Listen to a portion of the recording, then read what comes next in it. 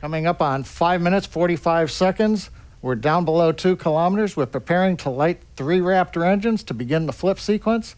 It'll culminate with landing on the landing pad in Boca Chica.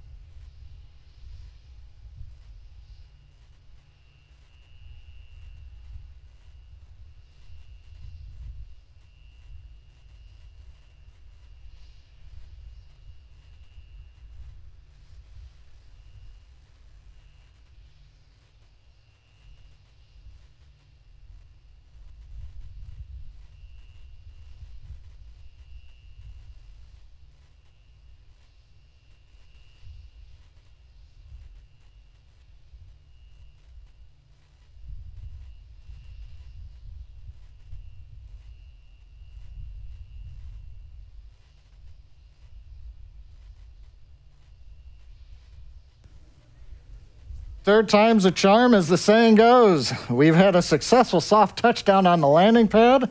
That's capping a beautiful test flight of Starship 10. As a reminder, the key point of today's test flight was to gather the data on controlling the vehicle while re entering, and we were successful in doing so.